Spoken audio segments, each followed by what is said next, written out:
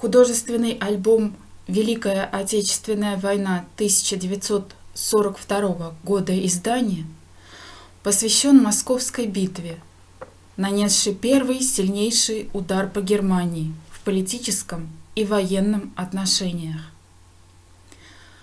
Редакторы к альбому пишут в предисловии. Советские народы, поднявшись на защиту своей любимой столицы, священного города, хранящего славу русской истории, сердца социалистических республик, показали всему миру невиданные чудеса железной стойкости, отваги и мужества. Патриотизм советских народов в битве за Москву воплотился в незабываемые подвиги.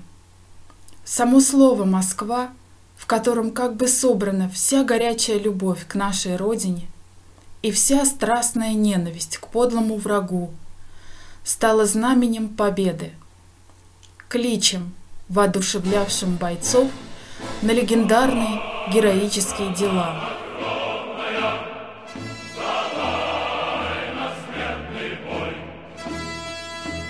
Thank.